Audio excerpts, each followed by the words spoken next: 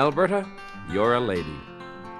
I guess songwriter Shannon Two Feathers had some kind of special inspiration when he wrote those words, because, Alberta, you are quite a lady.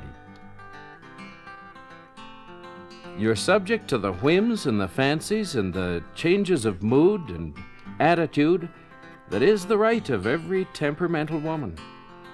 And yet you maintain a beauty and kindness and gentleness that seems to belong to you alone, Alberta. So here am I to sit down and tell you folks a story about Alberta, my favorite province, the province of my birth, my childhood, my rearing, the province of my choice. A province so diverse and so bountiful, so kind to its inhabitants, and at the same time a province that can change and turn a harsher cheek. A province that has known so much history and looks forward to so much future. Where do you start to tell the story of Alberta? Well, if I had the long range vision of one of our famous bighorn sheep, then I could lie on an alpine meadow and curl up comfortable and content in the shiny Alberta sun and look at our plains to the east just as far as my eyes could see. And that might be a good place to start telling the story from. Wait. No, better yet, perhaps you should put yourself in that position so that you can see all of my province at once, and then I'll travel across it, stopping here and there. And I'll point out some of the highlights. In other words, I'll do the work, and you look to the horizons, south, east, and north, and maybe we can gain an appreciation of the diversity and splendor that is Alberta. I'm going to start down this river. I could pick from many, but I'm going to choose the Red Deer because I think it outlines best the ages of our province before the white man's coming gave us a written chronicle of events. You see, along the cliffs of the Red Deer River, the erosion of wind and water has created a geological time chart that graphically illustrates the ages from the beginning of time. Dr. Wes Reed, who lived in and studied the formations of the Badlands for many years, provides us with this great description. A great gash eroded by the southeasterly flow of the Red Deer River. It seems to be another world as the valley shears through stratum after stratum of the Earth's history, as through a gigantic layer cake. Up and down the valley stretch the Badlands, a panoramic wonderland of bizarre and complex ridges, pyramids, steep bluffs, massive buttes, steep walled gorges, and canyons. The terraced, multicolored walls are composed of layer upon layer of shale, sandstone, ironstone, bentonite, and clay. The Badlands colors range from black through brown and buff to gray and white, and vary with every change in weather, hour, and season. The colors are soft and tinged with mauve after a summer shower, tinged with pink and gold at sunset, and rather flat and drab at high noon. The Badlands provide a show window through which it is possible to look into the heart of one of the world's most dramatic demonstrations of the great sedimentary land building processes displayed in the colored bands of the formations. And the most dramatic of all was the age of the dinosaur. Now, dinosaur bones are still found in size and quantity and provide concrete evidence of highly specialized and bizarre giant lizards who lived in a huge delta of swamps and brackish water along the western border of the inland sea. There were literally hordes of dinosaurs. Some reached a weight of 10 tons. But not all were giants. Most were large, true enough, but some were no larger than a rooster. The spectacular dinosaur age came to an end in a tragic fashion for the giant lizards, though. With the coming of the Ice Age about a million years ago, huge ice caps formed in the Arctic regions and began to flow southward over North America. That was the end for the giant lizards. Alberta remained as an ice free corridor until about 35,000 years ago. Finally, slow moving sheets of ice up to 5,000 feet thick, advancing from the north and east, began to grind ponderously over Alberta. At the same time, another sheet of ice formed in the Rocky Mountain region. It flowed out to meld with the other, making Alberta a waste of ice. Pre existing valleys, including that of this Red Deer River, had their irregular slopes smoothed by the passage of the ice. Now, the last retreat of the ice began about 12,000 years ago and left enduring impressions on the landscape. Alberta, as we know her now, had finally been shaped. But let's stay with this river. This river has seen it all. There were millions of buffalo feeding in its lush valleys. Massacres, Indian battles, trader skirmishes, prairie fires took place along her banks. The Indian, the trapper, the trader, the missionary, the gold miner, the settler, and the farmer have all navigated and used from the waters of this river. It has been host to millions of migratory birds every spring and fall since its time began. At any rate, we've reached a new chapter for our river and our province. The Indian and the buffalo now are the focus of our attention. The Indian's diet was meat. Every prairie brave was a skilled buffalo hunter. He could shoot a killing arrow from the bare back of his pony through the tough hide of a galloping bull. When necessary, a band of braves would stampede entire herds over steep cliffs to their death. Right along this river, there are many buffalo kills. The earliest of Western Canadian Indians hunted on foot, and their wanderings, no doubt, were determined by the direction the buffalo took. But even the buffalo had a migratory pattern, and over thousands of years, foot trails, which later became horse and travois trails, were scarred across the prairie. When the buffalo hunters finally made contact with more southern tribes, they became exposed for the first time to horses. It quickly became apparent that they would be more effective hunters when mounted, and the desirability of horses inspired many a stealthy raid on the neighboring tribes' herds of mustangs. By the time the first explorers reached western Canada, it is likely they encountered skilled Indian horsemen among every prairie tribe. It's likely, too, that the earliest white men and their colorful voyageurs were quick to follow the Indian trails, knowing they would always keep them in touch with food sources and water. Some of Alberta's famous trails still parallel or, in fact, follow on top of these early Indian trails. From your viewpoint, high on that alpine meadow, look now with your mind's eye to the plains below and you'll be able to imagine an age in which Indian and buffalo predominate Alberta's plains. Grant MacEwan's picture of this relationship between Indian and buffalo bears quoting. The prairie Indian ate fresh buffalo meat as long as they could get it, and when they could not get it because the herds were far away, they ate pemmican, which they made from a mixture of dried buffalo meat and Saskatoon berries. From buffalo skins, they made articles of clothing, covers for teepees, and robes to serve as blankets for their beds. A stomach removed from the body of a dead buffalo could be used as a handy basket or container for carrying food and water. Buffalo bones could be fashioned into knives and other tools. It was not surprising that Indians occupying the prairie areas thought of these big animals as special gifts to them from the Great Spirit.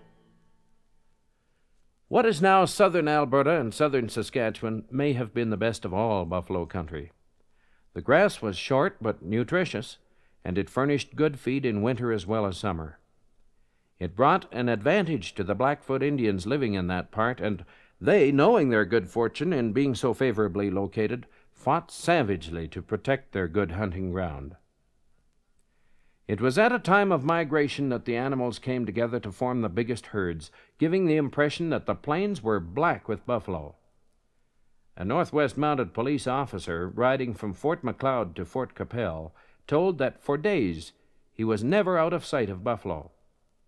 And Reverend John McDougall, the pioneer Methodist missionary, told of standing on Spy Hill on Calgary's north side and seeing buffalo herds on all sides.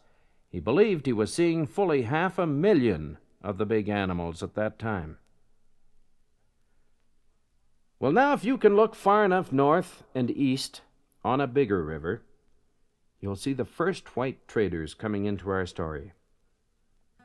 At this time, the fur trade was thriving farther east, and the demand for coveted beaver pelts brought adventurous explorers and fur traders farther west each year. Perhaps the largest fur bounty of all awaited in the valleys and the east slopes of the Rockies. At any rate, forts sprung up quickly along the shores of the many Alberta rivers and their tributaries, and the proud Plains Indians were soon to lose their domination of a land that had been theirs since their beginning. The years that follow now belong to the men of the rivers fur traders, trappers, explorers, and the colorful voyageurs. They were in a class by themselves. The walls of the forts rang with their lusty commotion as they outfitted their canoes with trade goods in the spring, and again in the fall their crude York boats laden with pelts. Rowdy and fun loving, their game was adventure and challenge of the unknown as they attacked work or leisure with equal zest. Trade was brisk. Every spring, the traders outfitted their canoes with flour, sugar, beads, tools, utensils, and liberal amounts of liquor, and traveled deep into Indian country, returning in late fall their trade canoes laden with prize fur pelts. They followed the explorers who kept up a constant search for new and better trade routes, opening the regions as they went. With compass and journal, charts and maps, they traveled by foot and canoe, serving as public relations men to the Indians for the fur companies. Men like Henday, Gaddy, Thompson, Fidler, Pond, and Mackenzie played a significant role in the early development of the region which is now Alberta. As the years go by, even the mighty fur empire goes the way of all great reigns. What once seemed an inexhaustible supply of furs had quickly been depleted. And fashion no longer dictated fur hats to be worn. The silkworm has now become a predominant creature, and by the late 1860s, even major posts like Edmonton House have fallen deeply into debt. Fort Edmonton developed into a supply center for the Hudson's Bay trade, in particular that going north. Here, once again, it was the river that played a big part. You see, the North Saskatchewan River was a fine navigable freeway and saw a century of river traffic in the form of canoes, rafts, and York boats, which later gave way to paddle wheelers and barges. While Fort Edmonton and like posts in the north were developing into thriving communities embracing the agriculture industry little by little and attracting some permanent settlers. Settlers, incidentally, that were the forefathers of the pioneers that we're soon going to see on our giant stage. Little, if any, development was taking place in the South. However, it's time to turn our attention to the South. Now, when you look down here, you'll probably view that vast area as just so much waste. And also, you'll recognize an aversion to settling there because this is the home of the much feared Blackfoot Indian. But if you watch as the 1860s and 1870s unfold, you're going to see a huge cast of American free traders come onto the scene. They're known as wolfers and whiskey traders, and they're going to set up little posts all over Blackfoot territory. Generally, their deportment's going to be questionable, and in short order, reports are going to the Canadian government of drunken, blood-letting brawls. It was a dark period, but a colorful one in Alberta history. These whiskey posts, such as Fort Whoop-Up, run by Hamilton and Healy, traded first-class buffalo hides for knives, blankets, guns, and a pint of brew that literally fried an Indian's mind. Fort Whoop-Up was the kingpin of them all, but there were others. Spitzee Post, Forts Standoff and Slide Out, Robber's Roost and Whiskey Gap. And they were established by colorful personalities, too, like Liver Eating Johnson and Dave Akers and Charles Thomas and Moses Solomon.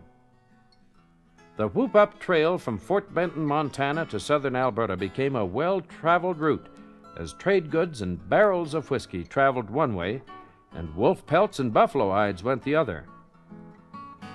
The reign of the whiskey posts was a short one, it was only three seasons, but it was long enough to cause terrible poverty and grief on the once proud Blackfoot Nation.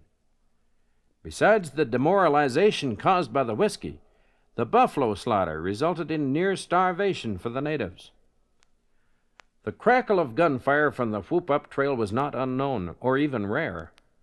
The whiskey traders were for the most part evil men, arrogant, cruel, and unfair. Finally, they overplayed their hand. It happened way east in the Cypress Hills.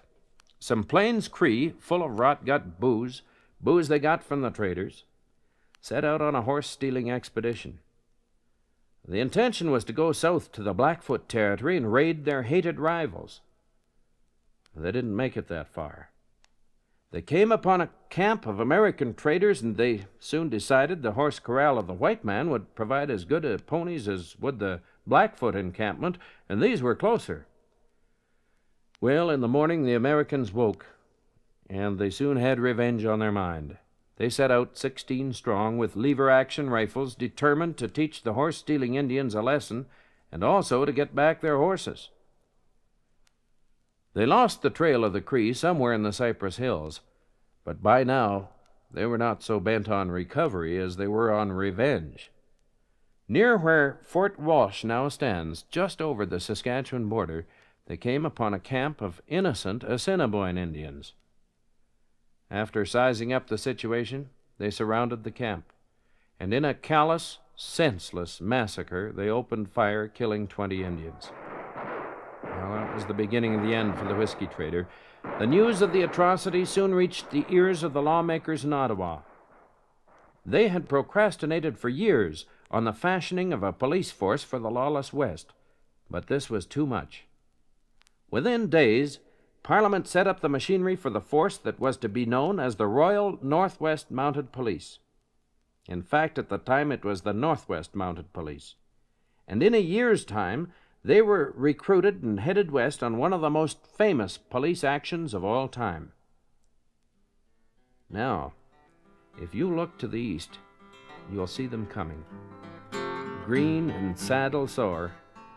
They make up quite a parade nonetheless. Scarlet tunic, white helmets, oxen carts for provisions, livestock, ammunition wagons, and some 350 men. For most, their very first taste of the wide open spaces. That they were able to come through that torturous ride at all is remarkable. That they did it and still presented a formidable law enforcement body on arrival is, even today, one of their proudest accomplishments. The whiskey trader was finished. Even the arrival of 4,000 Sioux, fresh from the Custer massacre, didn't seem to faze these courageous young men. The forerunners of our present Royal Canadian Mounted Police were without doubt an example of self discipline, devotion to duty and country, an example of courage that is rarely found singly and hardly ever displayed by an entire group. The first of the Redcoats received some valuable help from a famous Alberta Metis character named Jerry Potts. Without him, the whole brigade would have certainly had even more difficulties than they had already experienced. Well, they didn't know how to find celebrated Fort Whoop Up. They had to have an interpreter to communicate with the Indians, and in Jerry Potts they had both guide and interpreter. Finally reaching Fort Whoop-Up, they found that the news of their coming had preceded their arrival, and the worst of the lawless traders had hightailed it for the border. Jerry Potts took them on north to the shores of the Oldman River, where the force set up the first western police post of historic Fort Macleod. It wasn't long after that that a detachment under Inspector Brisebois traveled north to the confluence of the Bow and Elbow rivers and established a second fort. It started out as Fort Brisebois, but it soon became Fort Calgary. Named by either Colonel MacLeod or Assistant Commissioner Irvine, both of whom were intensely Scottish. There seems to be a dispute as to which of the two actually did rename the tiny post. Well, the Mounties had little time to get used to their new home. Among their very first visitors at Fort Macleod was Chief Crowfoot, undoubtedly the most powerful and respected chief in the Blackfoot Brotherhood. It was fortunate that Colonel MacLeod was able to favorably impress the wise chieftain as to their purpose, and Crowfoot was to become an important ally. The alliance between Redcoat and Chief Crowfoot reached its peak when, on an historic date of September 22, 1877, on a beautiful knoll looking down on the Bow River, the official signing of the historic Treaty Number 7 took place. It signaled the end of open hostility between the warlike Blackfoot and their Plains brothers, the Blood, Peigan, Sarcee, and Stoney tribes, and the incoming whites. The law had not only come west, its main purpose had already been accomplished. The early day Northwest Mounted Police made many contributions that are not normally credited to them. They did some farming, they delivered the mail for a time, and they were a great aid in the arrival of the railway on the prairies. When news of the arrival of the law on these untamed prairies reached the outside world, there was new interest in Great Britain and many countries in Europe. Land starved and anxious for the right to farm their own land, many a European family began packing for the faraway Northwest Territories. The more adventurous husbands were already on their way, and many with little more than a pack on their back to lay claim to a quarter section of their own. Some packed a handful of seed with them, and they guarded that seed packet as closely as they did their money purse. It's often true that to be the very first into anything is not the best. Well, certainly these earliest of the new settlers found that. Pioneering is only for the very tough. But the trickle of new blood, new cultures, and new ideas was underway. In only a few short years, the rolling Atlantic Ocean would be highway for thousands of seasick adventurers on their way to the Promised Land. It's good that the sea captains, once started, would not turn back, or else many a wretched passenger would never have made Canada. But in the end they did, and that's where a new chapter begins in our Alberta.